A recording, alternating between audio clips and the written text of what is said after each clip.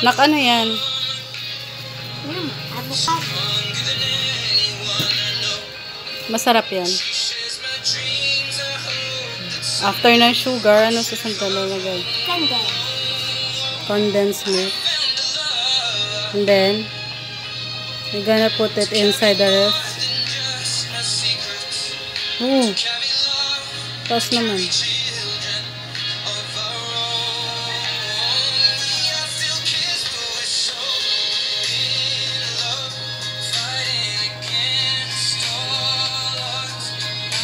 Dami naman. Tama na yan.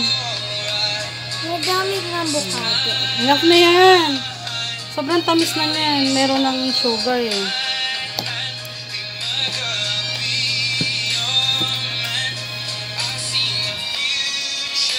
Huwag mong ano, durugin.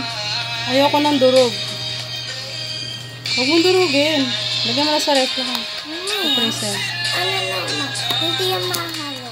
Maling. Hindi yan magiging matamis. Kasi, ayun.